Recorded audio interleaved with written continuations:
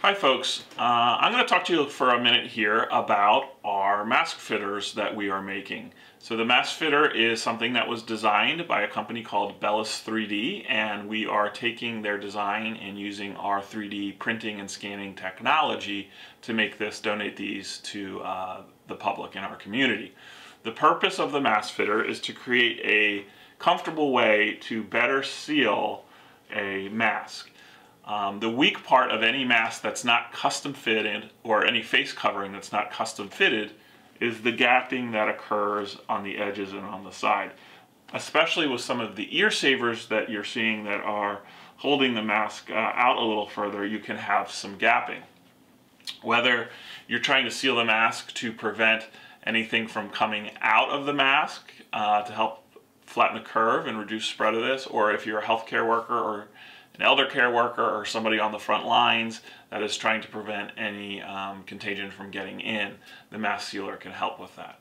Uh, it is not an N95 properly fitted mask, which is the gold standard here, but we understand that many in the community do not have uh, N95 masks available to them. Uh, even healthcare workers on the front line may not have this equipment.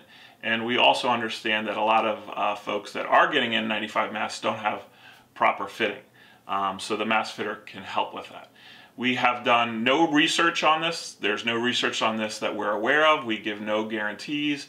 We understand that it's not a perfect solution, but we do believe it's the ne next best thing to a properly fitted N95 or better mask. Um, so a couple things. First of all, um, whenever you take this off or whenever you put it on, we're recommending that you disinfect it with um, either spray or some sort of wipes to totally uh, clean this and thoroughly disinfect it, um, again, anytime you take it off or put it on. Um, the, the way we make these mask fitters is that we're actually using a 3D technology uh, that can scan a 3D version of somebody's face we can export that and digitally create the mask fitter on our uh, Dental Lab technology at Verber Dental Lab.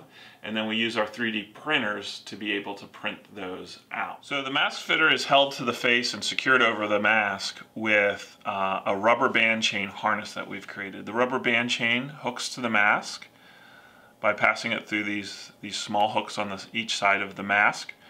And the rubber band chain is of course created from a series of rubber bands. We will provide some rubber bands for you in your bag with your mask. The larger colored rubber bands are the ones that go on the side that will hook to the mask. We will then give you some rubber bands of this type to help create the chain. The number of rubber bands that you're going to use, of course, is going to be dependent upon the size of your head. Quite simply, you create the rubber band chain by overlaying two rubber bands, and pulling the end of one through. Do the same thing on the opposite side.